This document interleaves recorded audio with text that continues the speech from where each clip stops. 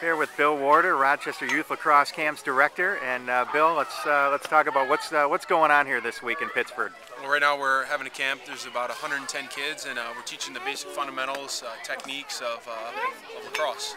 How many kids are are out here? there's about 110. They're from all over. We actually have a kid from Florida, a player from Connecticut, players from Rush Henrietta, Pittsford, Victor, so all over the greater North North America. And obviously you can't do this all yourself. Uh, who are some of the other instructors out here? Well, we have uh, Knighthawk player Joey Walters, uh, Reggie Thorpe, uh, general manager and players here, um, some former Rochester uh, Knighthawk and Rochester Rattler players. Um, coach Andy Whipple's here, head coach of Pittsford, local product. And, uh, and being uh, a local lacrosse player, you played for the Knighthawks. You were an assistant coach with the Rochester Rattlers. How nice is it to give back to these kids?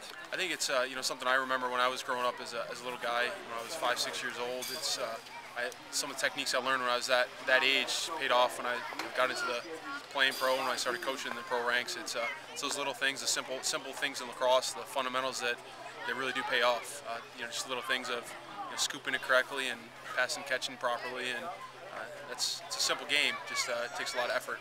And if, uh, if parents or kids are watching this and they miss this camp, how do they get signed up for future camps? Well, you can always go onto the uh, to either the Knighthawk website or the Rochester Youth Camp website, and uh, we'd love to have you next year. It's uh, same time, same place, uh, usually right before the 4th of July in, uh, in Pittsford, New York here at the Barker Road Middle School.